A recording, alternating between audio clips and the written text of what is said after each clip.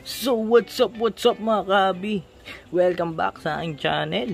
At ngayong araw na to, ay gabi pala no, tong gabi na to, Friday. So, nag-upload si nag-upload si Sir Lon ng Hunting Grounds, no? No, so pinanood ko yung mga ano niya, yung, yung video niya. Tapos napansin ko na meron siyang dalawang margaritatus, no? Na pares female. Tapos nung nagpa-gender ako noon dito sa male na to, no, ito yung nag-molt nung last time, no. Sabi niya male, no. Yan. Male. So male. Ta tsaka na mate ko na to, guys. So bago niya pala sabihin sa akin yung kakamolt lang neto noon. Parang ilang weeks na yun, 2 weeks ago ata, 3 weeks ago, parang ganun. Tapos Siyempre, ito, babae. Kaya minate ko. So, yan o, yung date, August 18 ko sila first minate. So, yan. At, yun nga, ano, guys. Ah, uh, ang tawag dito. Ah, uh, nasabi niya na parang kailangan ko ng mail. Hindi ko kasi sure nun kung parang nag parang nagbibiro lang si Sir Lon, no? Yung time na yun, hindi ko sure, guys, kasi nga napakarami niyang alaga, no? So, yun. At, ngayon, nung napanood ko kanina lang, no, yung video, nagchat ako, sabi ko, Sir Lon, ah, meron ka bang, ang, meron ka ba? Kailangan mo ba ng mail? Kasi, nagkataon na nagmultong isa ko, parang one week ago, lalaki. So, meron tayong isa pang lalaki, guys. So, yan, no. Yun. So, dalawa yung lalaki natin, dalawa yung babae natin. Unfortunately, guys, itong babae nating isa is yan, na-mate ko. Na-mate ko siya uh, kaninang madaling araw. so, iniiwan ko sila. Kaya, kaya ako naman ganun, eh, nagising lang ako kasi nawalan ng kuryente, guys nung kanina madaling araw. So, sinalang ko siya. Alas 3 kasi nagising ako. Sobrang init. So, ganun. Naisalang ko sila. Sinalang ko sila. Then, pagising ko na umaga, lumabas na yung spermatophore. So, yun. Kaya itong may female na to is mated na. Isang ito ring male na to. So hindi ko kasi ito bagong molt lang. Kasi bala ko silang magpares. Pero ito kasi ang pagkakatanda ko itong itong male na to ay female na to tsaka yung male na to galing kay Deidara Katsuki, no? Salamat, sir. Shout out. So, yun. So, itong lalaki na to is nagamit ko na uh, August 28 tsaka September 10, no? So, may dalawa tayong mated na female na Centroroides margaritatus. So, yun. At, sige, siyempre, papasyal tayo kay Salon, no?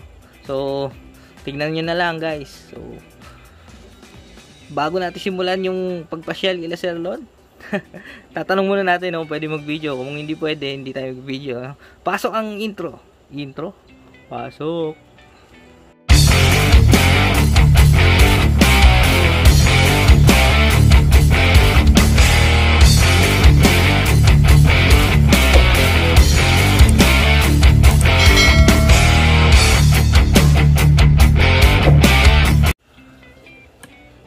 So, what's up mga kaabino? Nakauwi na tayo. Kaya lang, nakalimutan natin mag-video kanina, no? Naku po. na, ano ko na kasi, nalipat ko na. Tsaka, nung pagdating namin, pagdating ko nung kila Sir Lon, no? Ah, uh, actually, parang naiya na rin din ako mag-video. Pero na starstruck talaga ako sa mga alaga ni Sir Lon. na sa sobrang dami guys nakalimutan ko ng mag-video, mag-record ng video. Ay, ang ganda ng setup ni Sherlon. So, malay natin no, in the near future, no, magkaroon din tayo ng ganung setup. Ganda, ganda, solid. Yan. At ngayon nakauwi na tayo, meron pa akong hindi na nailalabas, no? Kasi na yung tatlo na ano ko na, nailabas ko na. So, yan, dali lang. So, ayun guys. So, na ano ko na to eh. Nalipat ko na, nakalimutan ko kasi sobrang excited ko. So, dito siya nakalagay no. So, na ilipat ko na rito. Tatlo to. So, sana may mag maging perman, no? Sa in the near future. Pero sabi naman ni Sir Don eh, pwede naman daw. Alam mo na, di ba? Yan. So, ito, yung isa rito, kapal kapalit nung, ano ko, nung uh, Centroroides margaritatus na male no? kasi nga kailangan nga ni Sir Lon.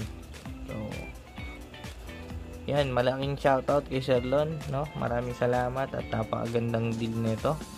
So nagkaroon ako at yun. Maraming salamat. At ito pakita ko na sa inyo problema guys. Masyado siya maliit.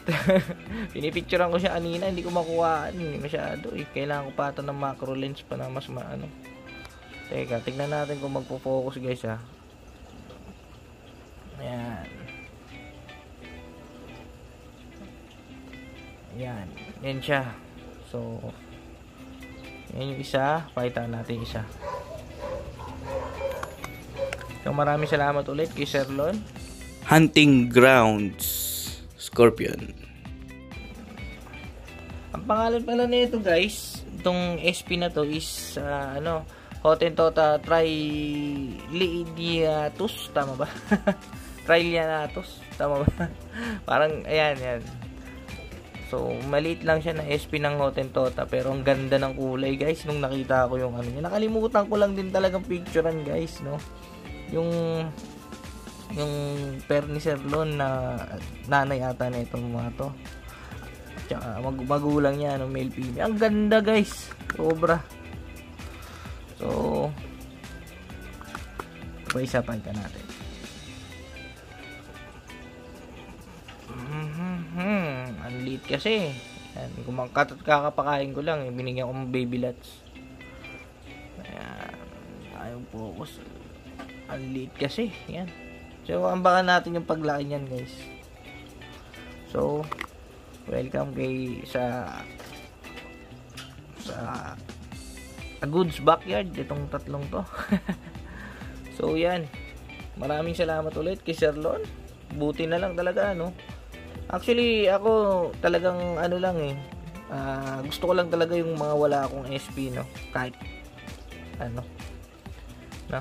Gusto ko lang magkaroon. So, ito, Siyempre, may, may, meron din siyang mga ano, na ito, kumuha rin tayo nito, no? Yan.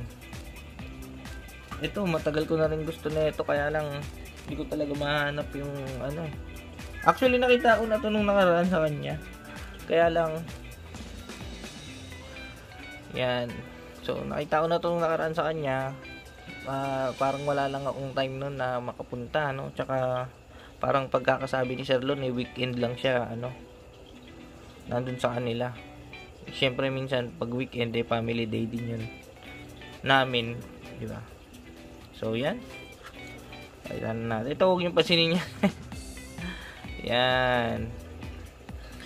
So ito is uh, dating pangalan niya guys is Layo Lyochilis uh, Waigenensis tama Yan. Waigensis. Yan, Waigensis. Tapos napalitan na siya, naging Hormurus uh, Waigen Waigensis. Pasensya na guys. so yan. Pagkakasabi ni Sir Lon, ito female, yan, female yan o, yung straight na, yung ano niya, pincers niya is straight, walang kuka. So, tingnan natin isa. Ito female. Pakita natin male. Ayan. Grabe. Ayan, tingnan yung ano niya, yung pincer nito. Parang may uka, no? Yan, dyan yung malalaman kung male or female. Galing, no? Yung Lychilus australasiae natin kasi is parthenogenetic. Pero ito kasi piniperto, no?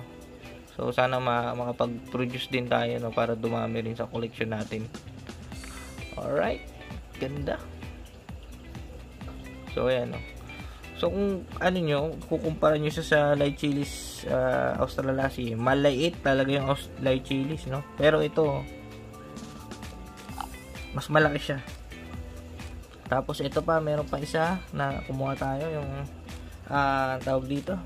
Uh, dating pangalan naman nito is uh, Lychas infuscatus, no? Ngayon kasi nabago na, naging Lychas armil armilatus, no? Yan. Armilatus. Lychas armilatus.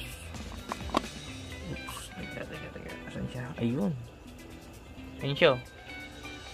Ang galing. Parang, ano, Ayan, ganda, guys. Straight na straight yung buntot. Parang galit eh, yung isa. So, hindi ko natanong kay Sherlon eh kung ano ba to, kung pair ba to o ano. Nakakalimutan ko. Nakalimutan ko itanong. Kasi talagang namangha ako sa mga alaga ni Sherlon. No? Ito isa. Alright. Pati straight na straight ang iyong buntot. Para kang ano. Alam mo naman guys, sa, sa, sa mga scorp, sa mga desert to, pag nag-straight yung buntot niya, kabahan ka na. yan. So yan, magre-rehouse na tayo guys. Rehouse na natin to. Baka i-rehouse pa ng iba. Eh, so ito guys, hindi ko na napakita nga sa inyo yung rehousing no, itong tatlong to. At pakita ko na lang sa inyo adult form nito. No? So yan, tignan nyo. Yan.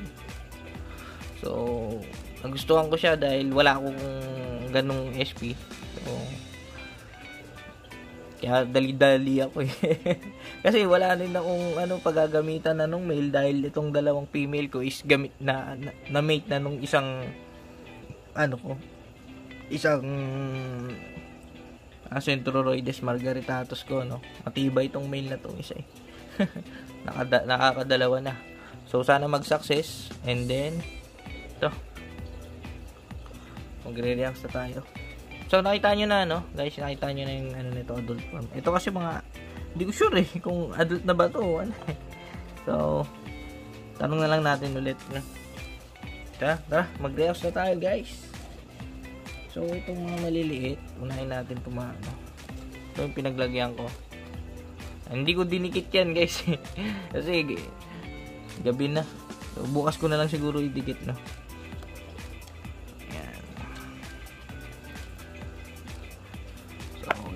buksan na natin. Saan ba yung tweezer ko na mali. So yun. Simulan na natin. Teka. Saan ba yung takip? Wala pa yung takip. So ayan. Ah, lipat na natin to baka maglipat pa ng iba so ayan ang ganda na itong lagay ni Sertlo nung kapal oh. Kaya lang hindi ko siya masyado makita. Medyo, ano, hindi transparent, no?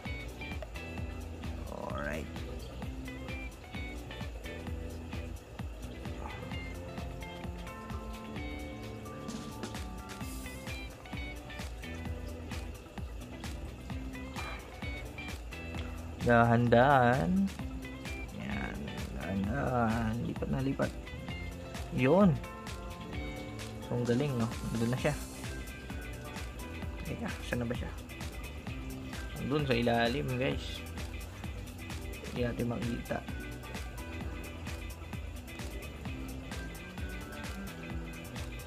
Hindi na. Binaliktad ko lang yung, ano, kahoy na.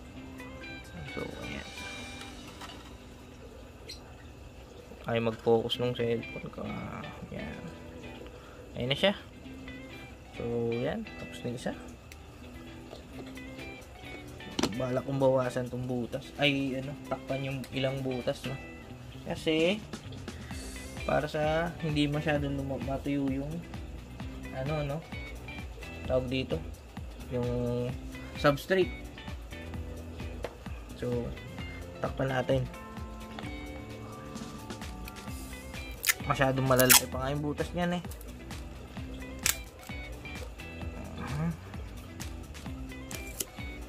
tsaka na natin magandahin ng iyong enclosure no? Pag nakapunta tayo sa mga tindahan ng tupperware. Titingin din tayo doon. Kasi baka i-rehouse ko na rin itong mga tarantula natin, no? Kasi, tawag dito, lumalaki na sila. Gawin natin ano lang yung ano, butas. Tatlo. Ano ba? Yan. Yan. Yan, okay na yan. 1, 2, 3. So, tatlo lang yung butas. Medyo malaki pa nga yan eh. At maliit lang. so, yan. Success na isa. Lalagyan na lang natin ng tag, no? Alright. Armilatus. Ito may side bench na nga to eh. Dati to sa pimet ko eh. Kaso namatay. Pimet natin. So, ito naman isa.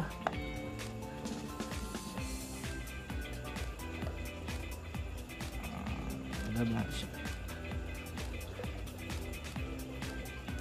Uy. Yun. Ayun na. Laglag na siya doon.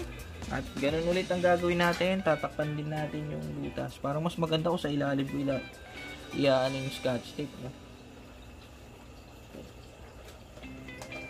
Oh, wala na naman yung takip. Ano ba yan? So, yan. Sa loob ko nilagyan ng tape, no? Alright. So, tapos na ang rehousing natin ng Lychas armillatus. Alright. At ito namang wingis natin. Lalaki pala ng butas nito. Hindi naman sila kasi dyan siguro. Takpan ko na lang kaya. Okay, kaya mo na. Alright. Lipat ko na lang. Hanap ako bukas ng ibang ano. Lagayan. Lalaki ng butas yun. so, yan. So, ito ang ating ah, ha? Hormurus Wygensis. sorry, sorry guys ah. Wygensis. Yan. Wygensis. Yan. Hormurus Wygensis. Yan. Grabe naman kasi mga Latin name na yan. So, ito, lalagyan na lang natin ng tagging ng male, female, bukas. Alright. Ang ganda? Ayan. Lipat ka na lang. Lipat ka doon, baba, baba, baba. Laki ng pincer niya, no? Yun. Grabe, oh. Ganda. Oh. Solid na. ano kaya ah, gawin ko kaya sub substrate niya eh, yung ano. May, parang may mga putik-putik pa siya eh, no? Yung loam soil. Experiment ko nga. Tignan nga natin. Okay, sa mga susunod na video. Pre-rehouse tayo. Sa loam soil natin lalagay. Kasi parang may mga lupa-lupa siya eh? Yan. So, tapos na isa. At ito naman is yung mail. Tama.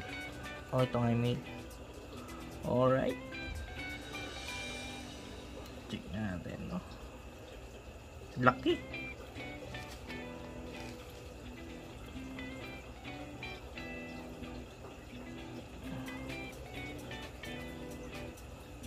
Yun. So, yun. Solid, no? Laki. So, yun guys. Maraming salamat sa nanood. Ha? Natapos na rin ang rehousing. At ang hindi ko naman na-unbox ay ano. At least napakita ko sa inyo, no? So, ito. Yung mga bag dagdag sa ating collection. Yung Hotentota Tri Triliniatus. Tama ba? Triliniatus. Tsaka yung Lychas Armillatus. Tsaka yung Lychilis. Y Wygensis. Ay, naku nakakabulol, no? So, guys, uh, shoutout ko na lang ang uh, Exotic Vloggers Community. Yan, shoutout sa inyo. At especially shoutout na lang din kay Sherlon. At si Sherlon nga pala guys is meron ding YouTube channel, no? Check nyo. Uh, ito ang kanyang link. Hunting Ground Scorpion. Yan. Sherlon at maraming salamat din at marami din kayong matututunan at makikita no about sa scorpion sa kanya scorpion creeping scorpion breeding yan meron din siya so maraming salamat ulit Sherlon at sa mga hindi natin na shoutout ngayon no guys pasensya na at next video na lang so maraming salamat at dito natin tapusin ang video uh, Maraming salamat sa sumusuporta kay Agus Backyard. Backyard, bigla. Maraming salamat sa sumusuporta kay Agus Backyard. At dito natin tapusin ang video. Peace out. Peace, peace, peace out. Yeah. Op, wait lang. Uh, guys, uh, magpaparapol ulit tayo, guys. At uh, yung raffle naman natin is para sa mga uh, 750 subscribers, no? Pag naka 750 tayo na subscribers, eh sa tingin ko matagal-tagal pa naman 'yun. So, yun. Mamimigay tayo ng Scorpion ulit. At secret na lang kung ano yun. Abangan nyo na lang. At dito na lang tapos yung video. Peace out!